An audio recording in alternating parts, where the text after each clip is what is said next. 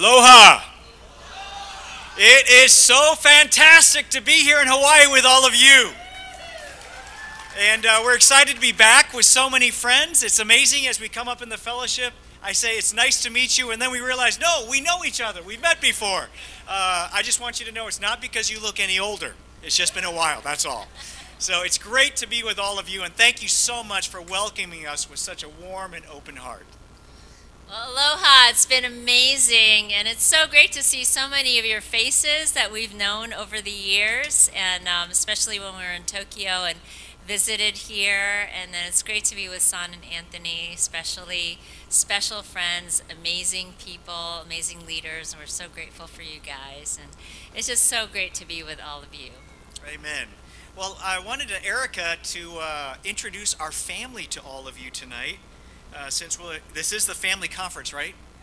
Okay, so so maybe we should get to know you as a family. I think I have this on, and let's see if it works. This is the uh, oh, there it is. Yes. There's our family! Yay! So, um, so that down, starting from the bottom on the left-hand side is Mimi, our baby. And um, she's at Tufts University, and she's finishing out her um, senior year. And um, she just took the MCAT and did really well on it. She's planning to be a doctor and um, doing awesome. She leads a Bible talk um, over at Harvard as well as at Tufts. So she's she's um, just very involved as a disciple. And then next to her is Manami, our second daughter and um, she's holding um, her daughter Emmy, and she um, Emmy is two uh, two years and eight months old, and then she also just had another baby, which um, I'll show you in a second. Um, but um, Emmy is just a rambunctious, fun grandchild. I love being a grand grandma. Baba, I'm Baba. For those of you who are Japanese and know Obachan. So, and then right up above Mimi is her husband Ross, and they're both in the full time ministry in the New York City Church of Christ. And they're um, evangelist and women's ministry leader, um, helping out with the youth and family ministry. So, and then in near the center is um, Miyoko, our oldest, and um, she is um, 30. Oh, I didn't say her age. I saw Manami is almost 30, and then Miyoko is 32 and she has a little boy, same age as Emmy, almost. They're two weeks apart, so you can imagine I was super busy going back and forth trying to help both um, daughters having their babies. And she has a little boy, Lincoln. And uh, Miyoko is uh, working um, for GE Medical. She's in charge. She does what she is is called the big deal person. I don't know, it's a funny title, but she is in charge of GE Medical for the West Coast and the mountain region of the U.S. And so she's traveling a lot. So I get to watch Lincoln a lot, and it's really great. And um, and then right above her is Jason in the center of the men, and that's her husband. And he just finished his MBA, and is good is working with Frank at Pactimo and he is, you know how we were talking about the next generation? Well, he's going to hopefully in the future take over as CEO of Pactimo um, after Frank can get his uh, retirement and relax with me and have fun and just travel, which is, and that's what we want to do. And then there's me and Frank, and Frank is an awesome husband. You are in for a treat, you guys. He is an amazing husband, amazing grandfather and um, amazing businessman, and I love him to death, and you're going to just have a great time listening to him. Thank you, guys. Great job.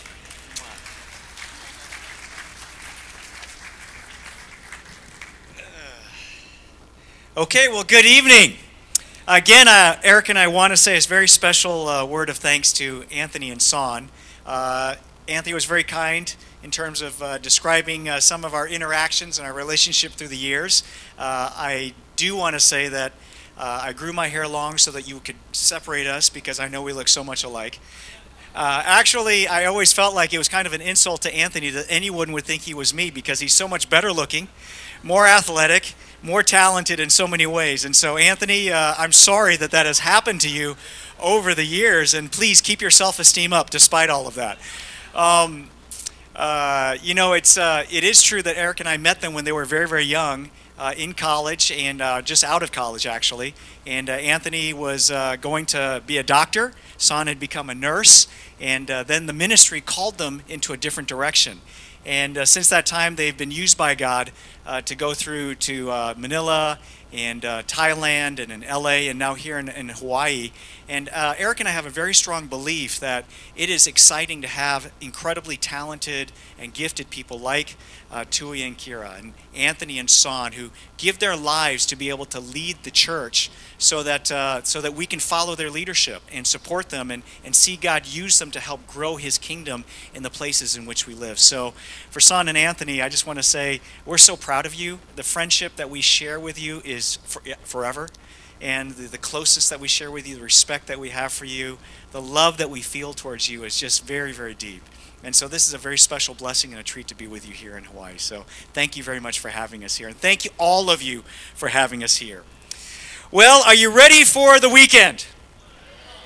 I would like to ask you to turn in your Bibles to John chapter 10. And uh, I think I forgot to advance the slide because, uh, let's see, I forgot to introduce someone. I'm going to do it real quick. Can I go backwards? That's our youngest grandchild. It's a grandson named Thor. I am not joking. His name is Thor. Now, I want you to keep in mind that his father is an evangelist in the New York City church. And when he called and said, We're going to name our son Thor, it was, you know, with a, with a son in law, you got to be careful. But inside of my heart, I thought, You're a minister of the gospel, and you're going to name your son after a Norse god. But he did, and thankfully, Thor came out rather large. That's thankfully because you don't want to go to school with a name like Thor and be small. That doesn't work. So, anyways, on to tonight's message John chapter 10. What a weekend we have ahead of us. We have themes like This is Life tonight, This is Us tomorrow. On Sunday, This is Love. These are huge topics, aren't they? How many movies, how many shows, how many books, how many conversations have been driven by these ideas and these concepts? I would say that every human dream, every human plan, and every relationship somehow derives itself from these ideas, these themes. And in a few minutes, we're going to be able to spend together this weekend. The few minutes, the few hours that we're going to spend together.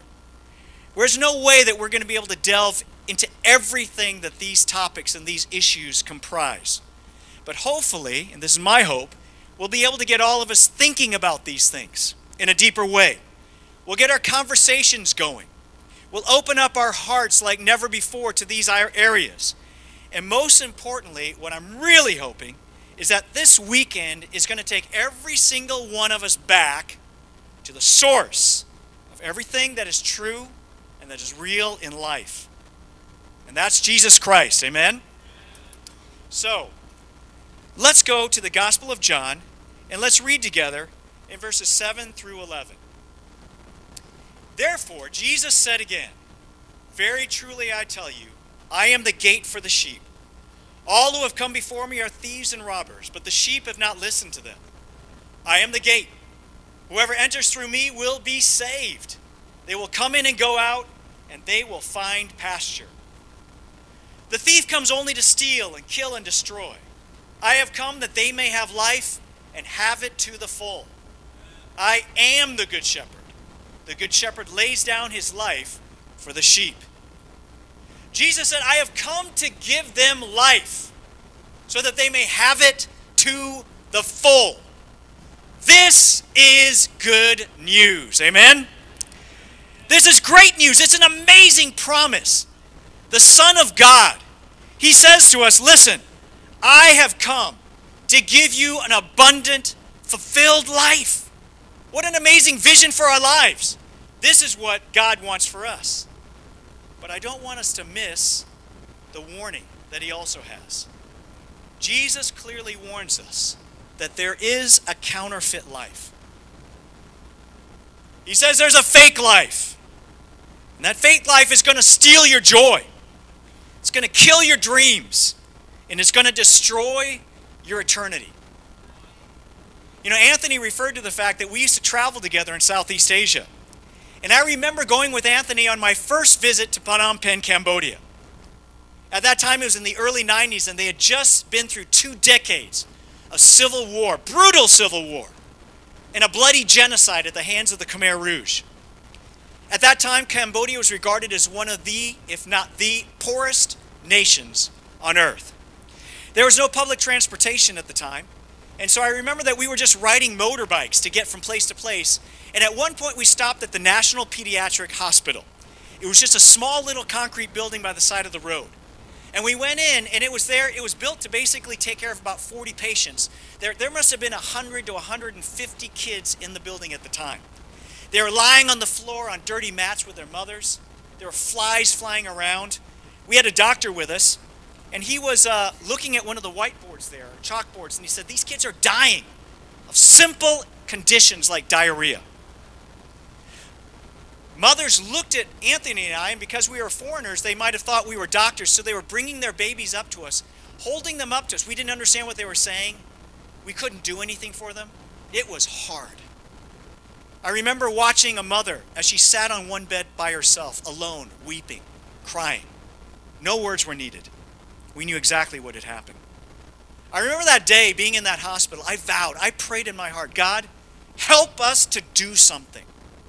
I wasn't a doctor, I wasn't a medical professional. I didn't know how he was going to answer that prayer. But I just knew that God needed to do something. Well, only a few years later, God opened an incredible door. I had a friend in Tokyo, I made a friend in Tokyo, who was a very famous American journalist for magazines like Forbes magazine, Fortune magazine. And he wanted to start a hospital in Cambodia because he had friends who were Cambodian. Eventually, he was able to put together a network of relationships with Japanese companies and generous founders, uh, uh, funders, and he built a hospital in Cambodia, in Phnom Penh. But he had no one to staff it.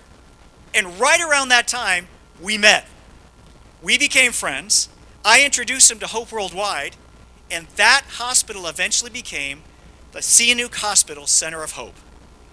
And it was through the miraculous power of God and the incredible faith and courage of unbelievable men and women of Christian faith that almost 2 million patients have been helped in that facility to this day. Is that amazing? That hospital is now the leading outpatient medical facility in the country of Cambodia. Now, several years after that hospital was opened, I was touring the inpatient ward one day with some disciples, and I met a young woman who was lying in a bed and she could not speak. And apparently, they told me that this woman was near death. Basically, had almost died, except that she had been brought to the hospital and her life was saved. So I said, What happened? Well, what they told me was that this woman had picked up a bottle of water because she was thirsty, and she had taken a huge gulp. But what happened was that what she drank was not a bottle of water. She drank instead a bottle of acid. And basically, the acid had burned her entire esophagus and parts of her digestive system from the inside out. At that time, Cambodians used to use these old empty bottles to store everything from gasoline to cooking items. She had no idea what she was drinking at the time, and when she drank it down, it almost killed her. She thought she was drinking water, but instead she was drinking poison. Now, we all know that true water is refreshing, especially on a hot day. True water is nourishing. We cannot live without it. True water gives us life. Now, acid can look like water. It may be clear like water. It may be in a container just like water. But ultimately is not water. It does not give life. It burns, it destroys, and it kills. Tonight we're going to talk about the topic this is life. Here's the fact. Every one of us in this room, we have one life to live. Everyone has one chance at this thing we call life. And during our time on earth, finding true life, finding real life, is perhaps the most critical, the most essential, the most important mission of any human being. Some of us are old enough to remember when Coca Cola had that sort of jingle. The real thing, what the world wants today. Now, I think all of us now have become more health conscious. We realize that in every can of Coke, there's 10 teaspoons or tablespoons of refined sugar. There's corn syrup. That's phosphoric acid so that we don't vomit from drinking so much sugar. And a variety of other chemicals that can kill you over time. The real thing. You can call it what you want. It can look like something good, but in the end, it can kill you. Do you remember that? That's the lesson. So many options in this life will call themselves true life. But we need to find the real thing. And the saddest thing in this life is not dying. Life is so much more than the number of days that we have. True life is much more than the length of it. The saddest thing in life is facing death and realizing that the life you lived was not real, that it wasn't based on truth, that all your efforts, that all your sacrifice, and all your energy was based on a lie, on the wrong values, the wrong goals. The good news tonight is that God wants us to have a real life. God wants us to have true life an abundant life and a full life. And that's great news. So tonight I have some very simple points. Number one, true life is found in Christ. I think this is working. There you go.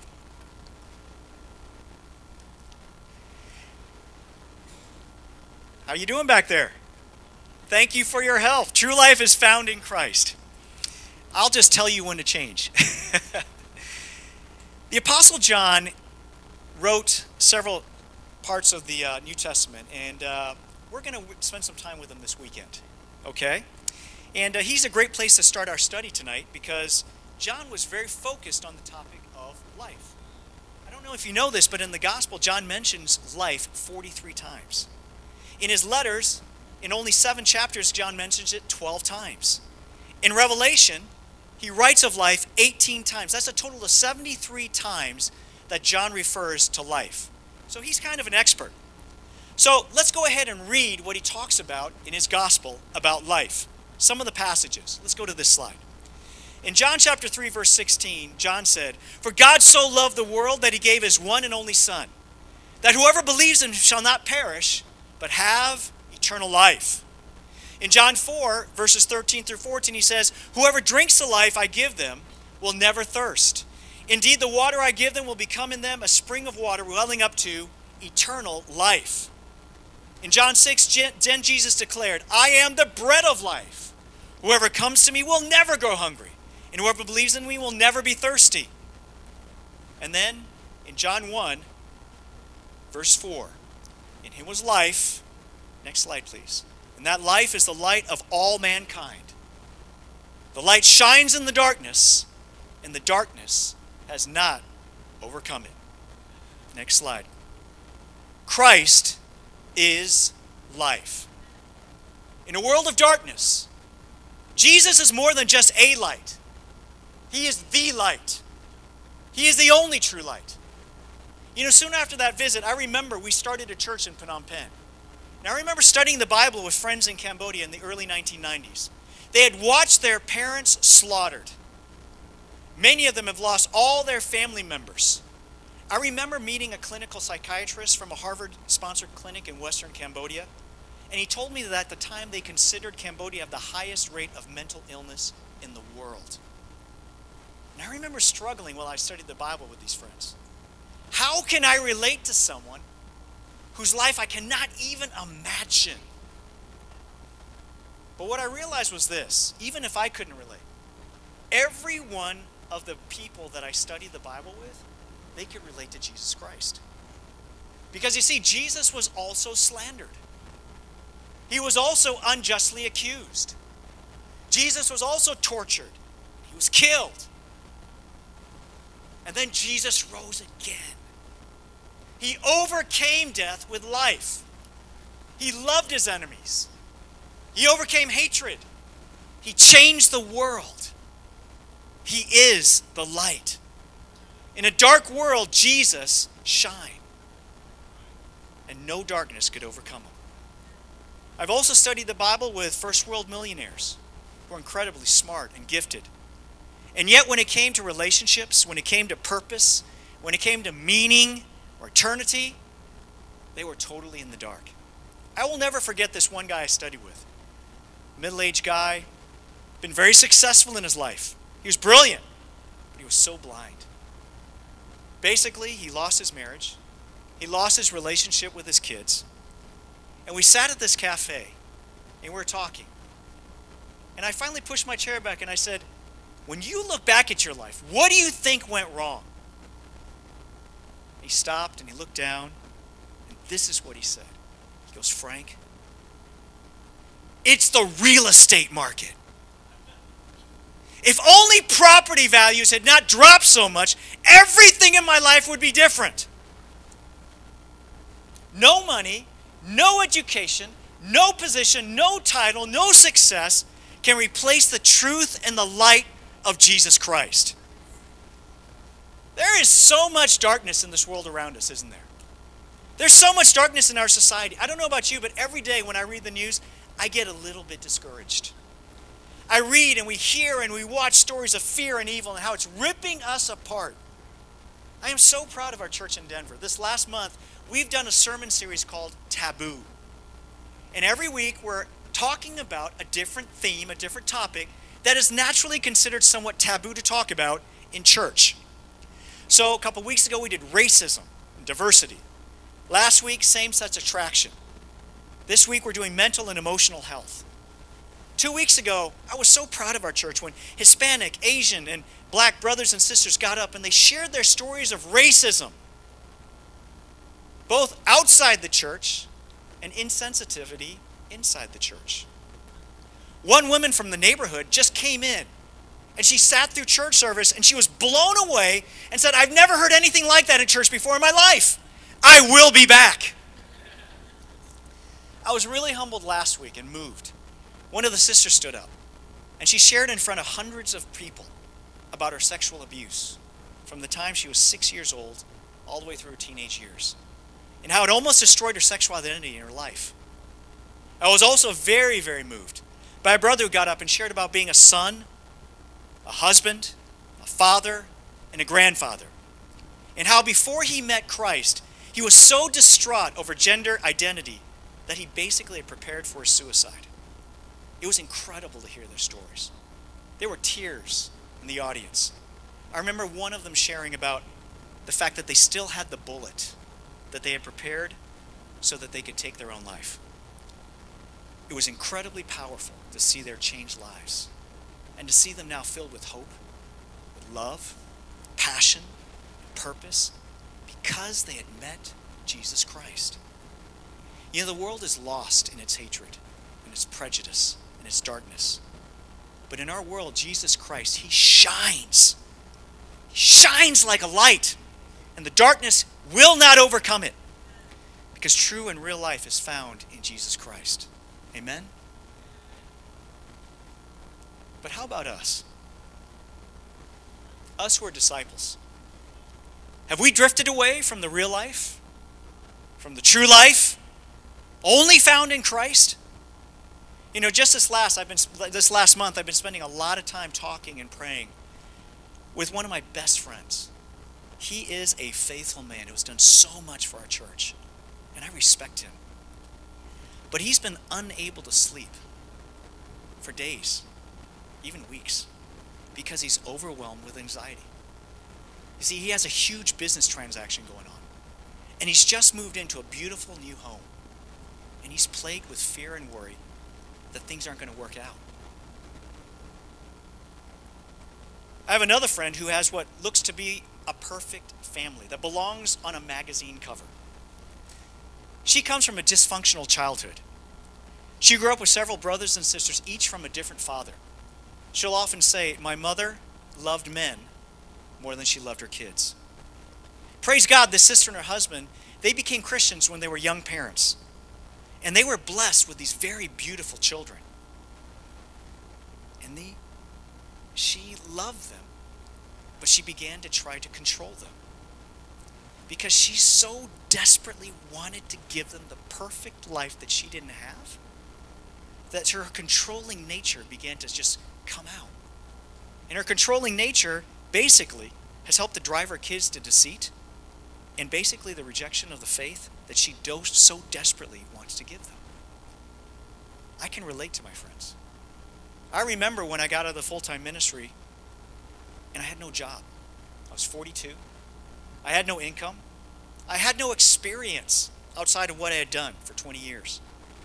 I remember lying in bed at 2 in the morning, unable to sleep, looking out at the streetlight, thinking, how am I going to support my family? I praise God for his faithfulness. He has blessed Erica and I more than we could have asked for or imagined. And I'm grateful for that. But I've got to confess, even after he blessed us for years, I struggled because I couldn't enjoy it. I couldn't rest in it because deep down inside, I was scared. I was so scared to lose it again. So I was holding on. I was active in church, I was reaching out to my friends, but deep down inside, I was holding on tightly to something other than the only true life. Do you guys know what I'm talking about? So here's what I had to ask myself Is Jesus my real life?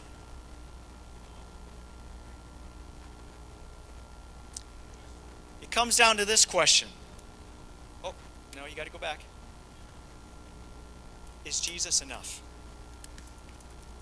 You see, I realized that the only way that I was ever going to experience the joy of God's blessing is that I had to know that Jesus, that God would be enough, that Jesus would be enough, even if I lost those blessings. Let me say that again. Listen. The only way that we can fully experience the joy of God's blessings is if we know that God is enough even if we lose those blessings. The only way for that brother of mine to find peace in the storm of his anxiety is when he can truly know that Jesus is enough, even if he loses it all. The only way for that sister to find the peace to stay emotionally connected with her kids is if Jesus is enough for her, even while they're on their prodigal journey. Do you understand what I'm saying? You see, we got to get real here as disciples. Is Jesus really the center of our lives? Is he truly our life? Or is he just something that we do while we live for, while we work for, while we invest in, and while we're worried about our actual lives out there? Marriage, family, work, kids, health, home, job. These are all very, very important. But ultimately, we need to remain convinced that these are not our real life. They don't give us life. Jesus said, I am the water. Jesus said, I am the bread. He said, I am the light. I am life. So tonight, look in your hearts. Let us all look in our hearts and answer this question Is Jesus enough for me? Because true life is found in Jesus, and He will test us. And when we pass the test, we can fully enjoy the life that He's given us. My second point tonight is that life in Christ is lavished with love. Remember John chapter 10? He said, so that we might have life and have it to the full. I'd like to ask the ushers, they're going to pass out a little present that I brought to you from Colorado. Very special. You're going to be blown away. They're going to pass these little baggies through the aisles, and your only mission is to take two. Put it aside and keep listening to me. Got that? Take two, put it aside, keep listening to me. Thank you. So, in John chapter 10, uh, Jesus said, He came so that we might have life and have it to the full. Now, sometimes what I like to do is uh, I like to round out my understanding of a certain passage in the Bible by reading it in different ver- versions or different translations. You ever do that? Okay, so I want to read to you a couple of translations of John chapter 10, verse 10 of this passage. It says here in the New Living Translation, But I came so that my sheep will have life and so that they will have everything they need. How about this one? My purpose is to give them a rich and satisfying life. I want you to smile while I'm reading these. This is good news.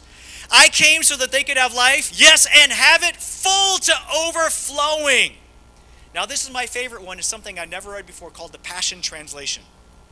Let's get that passion going.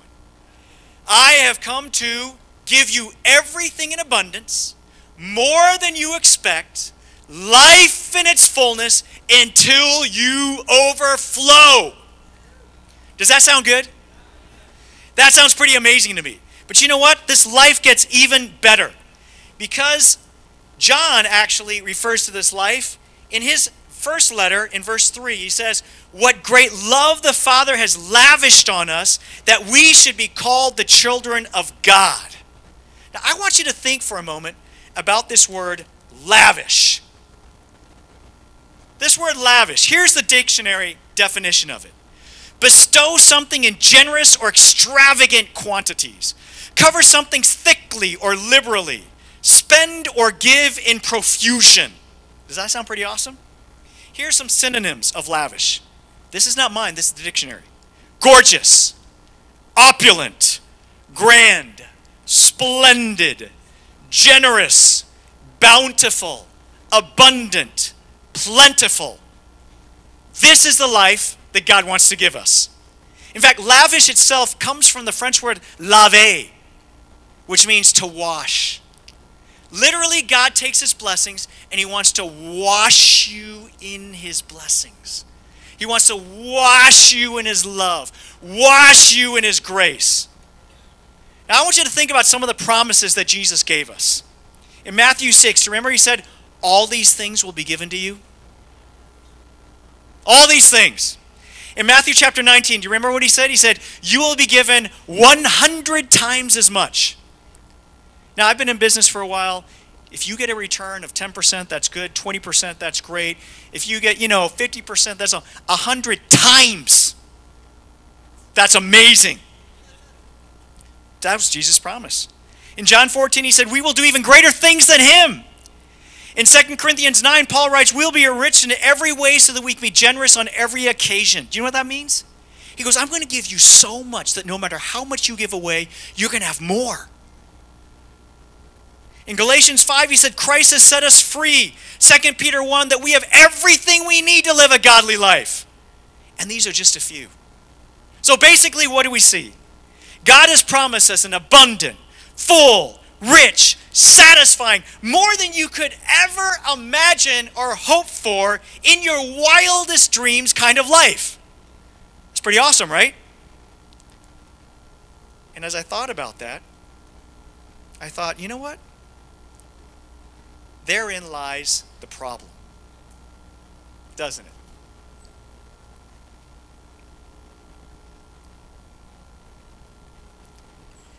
Because that's not what we always experience. You see, we're ready for the abundant life.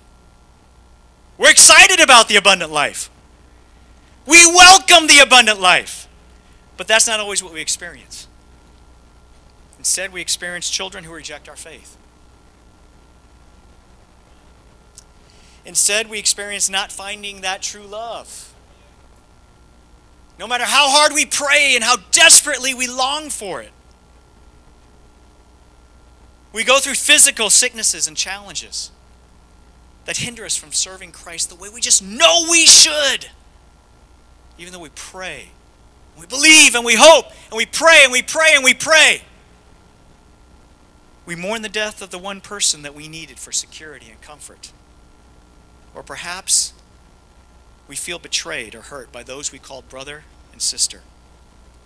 And that difference between what we expected and what we experience is that space in which disappointment, frustration, numbness, and bitterness take root. We may not quit coming to church. We may not stop giving or serving in our different roles, but so often in our heart we really quit believing that God's life is abundant, that is lavish, that is out of this world amazing. Now I think about the Apostle John. When he met Jesus as a young man, the Bible tells us that he was ambitious. So, what kind of life was he dreaming about? Well, we read that he was dreaming about position and status and sitting at the right hand of the king. And instead, what happened? For the next 50 or 60 years of his life, he lost all his worldly possessions. He saw his brother killed. All his friends were murdered. He was constantly persecuted, probably beaten on numerous occasions. And his reward in his old age for shepherding churches was to be exiled to a rocky, old penal colony island called Patmos. And yet, John remained faithful. And not only did he remain faithful, but he was more passionate at the end of his life and sincere and full of life at the end of his walk with Christ than he was at the beginning. And how did he do it? How did he stay on fire? How did he keep that passion? Well, let's read in Revelation 21. I think we get a little vision of that. In Revelation 21, and it's too long, so you got to read it in your own Bibles, which I know you have. He says, Then I saw a new heaven and a new earth. For the first heaven and first earth had passed away, and there was no longer any sea. I saw the holy city, the new Jerusalem, coming down out of heaven from God, prepared as a bride, beautifully dressed for her husband. And I heard a loud voice from the throne saying, Look, God's dwelling place is now among the people, and he will dwell with them. They will be his people, and God himself will be with them and be their God. He will wipe every tear from their eyes. There will be no more death, or mourning, or crying, or pain, for the old order of things has passed away. Look what he says in verse 7. Those who are victorious will inherit all this, and I will be their God, and they will be my children. You know, in the midst of his suffering and exile, sitting on that island alone, looking back at a long life of sacrifice, of giving, and hardship, I wonder if John began to doubt sometimes. He began to wonder It was it worth it? Was this really what I signed up for? It would only be human if he was like that. But you know, God showed him a vision on that island. And in that vision, John saw the big picture of his life. And he realized how amazing God's plan is. And at that point, rather than trust his own expectations of how life should be, John was able to put his faith in God's plan and God's wishes and God's vision. And it gave him energy and passion in life. Now I want you to take out those little pieces that you got. You got them? What are they? Wow, you're so smart. They're puzzle pieces. You're welcome. It's a great gift. Well, basically, I'm going to tell you the story behind this gift. You know, we have some friends, and every Christmas, their family gets together and they build a puzzle. And uh, we go over every Christmas and we celebrate Christmas with them at some point. And we see the puzzle on the table. And Erica and I are really into family traditions. So a couple of years ago, we said, you know what? We need a new family tradition for Christmas. We're going to start making a puzzle with our family. So we were all excited about this. And uh, we went out and we made mistake number one. We bought a thousand piece puzzle. Big mistake. So we announced it to the kids. We are all excited, and it was a couple of days before Christmas, and this is how we were going to spend the Christmas season this year. So we poured the puzzle pieces out and we started building. A thousand pieces is a lot of pieces. And you know, after a couple of days, the kids go, We're out. But you know, Erica and I, we want to serve as an example of perseverance and discipline to our kids. And so we were determined to see the job through the end. Well, Christmas came and Christmas went, but the puzzle was not done. And then New Year's came and New Year's went, And yet the puzzle was not done. You know, I had to go back to work. And I started having trouble falling asleep at work. Why? Because I was staying up until 1 or 2 in the morning with Erica every night trying to put that stupid puzzle together. And I remember, it must have been two weeks later, when about 1 or 2 in the morning, we finally got the last piece to fit in the puzzle. And we were fired up. It was like awesome. We won the Super Bowl or something like that, you know? And we never did a puzzle again. It was totally one and done. That tradition, that was done. So I ask you a question. Have you ever done a jigsaw puzzle? Not too many. You're smarter than us. Okay, good. How do you do a puzzle? Well, you got yeah, you do the border first and all that, but there's an important piece that comes before you do the border. All right, let's look. Let's look. Hey, you got to look at the front of the box. This is your gift from Colorado. You see, you look at the front of the box. How often do you look at the front of the box? Yeah, yeah, you put it right there. It's like over and over and over and over again. And every time you look at a piece, what do you do? You look back at the box. How does it fit into the big picture? Do you understand what I'm saying? And eventually, what happens? You you know, you go through these phases in building a puzzle like this, don't you? Aren't you do you ever get convinced that a piece is missing? You just know that the factory shipped the box with a piece missing. Or you get a piece and you go, this is the wrong piece. How do they put a piece from another puzzle into my box, right? But in the end, you finally persevere, and at one in the morning, you go, oh, they all fit. They all belong in the puzzle. Here's the other thing about the puzzle you need every piece to complete it, don't you?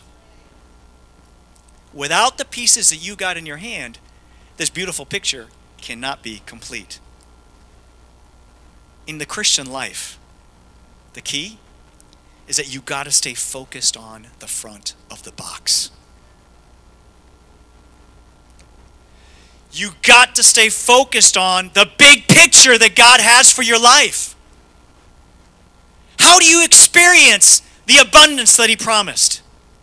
How do you enjoy the fullness that He promised? How can you re- feel and experience the lavishness that God wants to give you?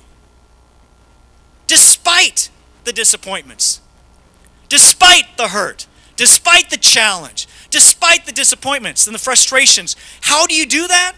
You got to keep your eyes and your heart focused on God's big plan for your abundant life.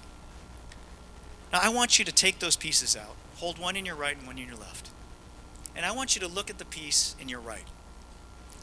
And I want you to imagine that's the best day of your life. Think about it. What's the best day of your life? That's the one in your right hand. You know, is it a child being born?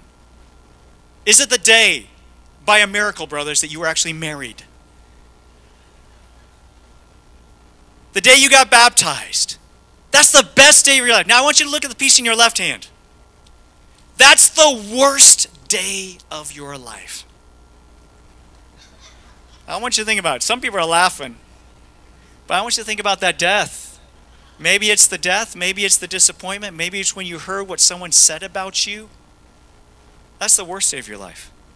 Now I want you to answer this question Which one of those two pieces is more important?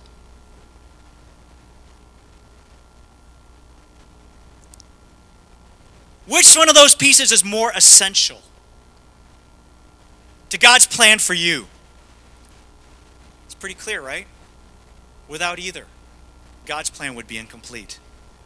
You see, when we see the big picture, when we see God's vision for our lives, when we understand and trust in the fact that He knows better than us, we can't see past the corner, but He sees the entire arc of who we're going to become. At that point, we understand that every blessing and every challenge is a piece of God's amazing vision for our life. That everything has a, pay, a part and a role to play.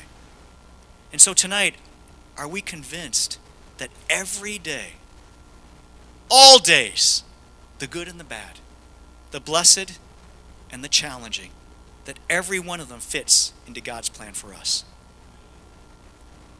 You know, 36 years ago, when I met Erica, my wife, she was this beautiful, brilliant daughter of one of the most successful doctors in America.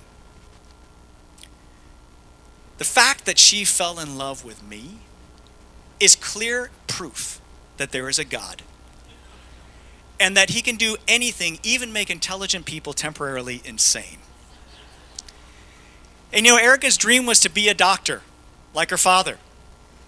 Eventually, we were married. We decided that we would become missionaries and that we were going to change the world by changing hearts with the gospel. Now, Erica's mother had a very debilitating condition called lupus. I don't know if you're familiar with that. Lupus doesn't have a cure.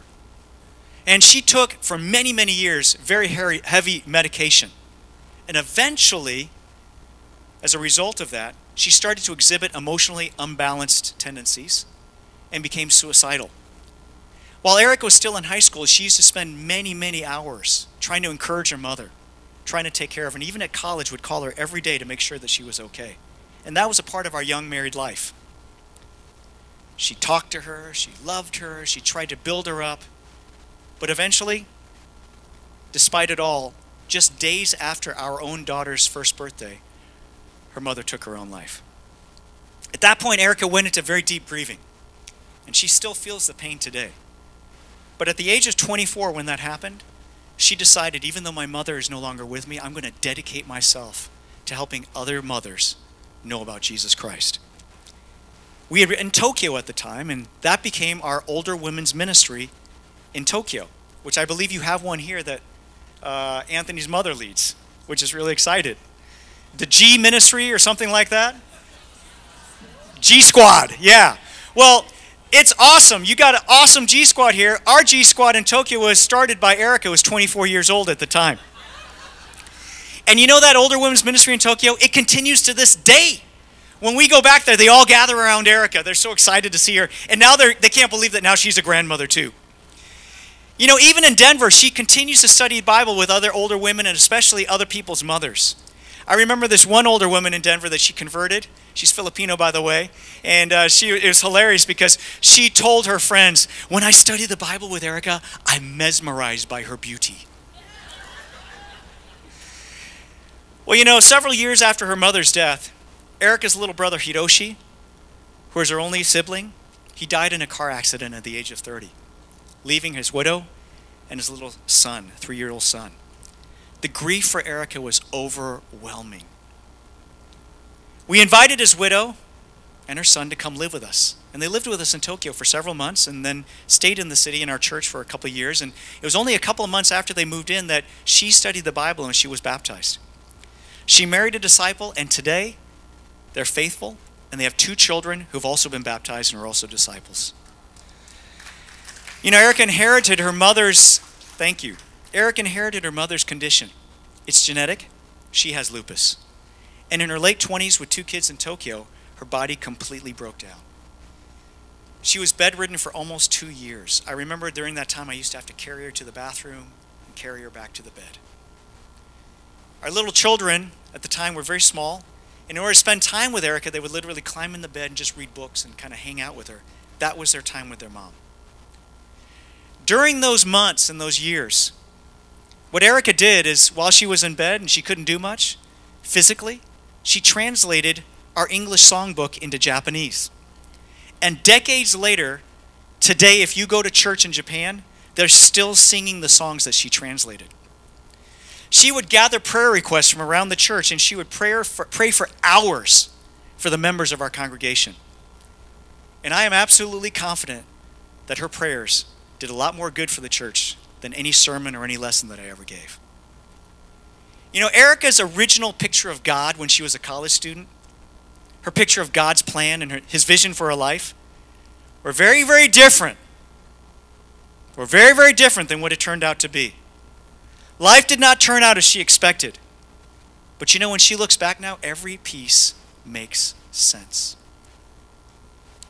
She has written books and she speaks around the world on spirituality, on grief, on grace, and on healing. And tomorrow the sisters are going to be blessed by her teaching. She's written books and she receives emails from sisters in places like Atlanta, Fiji, Africa, and Europe about how her book has changed someone's life. Her daughters have all become disciples of Jesus, and every one of them will say that their mother is their living example of what faith really looks like during times of trial. Just recently, Erica told me something that moved my heart. She said, You know what? My illness is my friend. And I remember thinking, we spent our whole life fighting your illness. And now you call it your friend? How? How can you say that? What makes you say that? I was amazed. But it was clear. She called her illness her friend because God had used it to make her life a masterpiece. An amazing work. A masterpiece that's full, and abundant, and lavished with grace and love and impact. So today, you're a masterpiece. You're God's work of art. You're a creation of His. And even your worst days and your best days, they're all important. And they're all a important part of, uh, important part of the plan. So tonight, I leave you with this. Don't let your worst days make you numb. Do you know what I'm talking about? Where you show up, you go through the actions, but you don't feel the passion anymore. Don't let your worst days make you numb. Also, don't let your best days get you distracted. When all the great things are happening and so much good is happening in your life, and you forget the giver of every good thing. Remember that the good days and the bad days and every day are all a part of the true, abundant, overflowing, magnificent, opulent, lavish, incredible, significant life that God has called you to. For this is life, Jesus Christ. Thank you very much.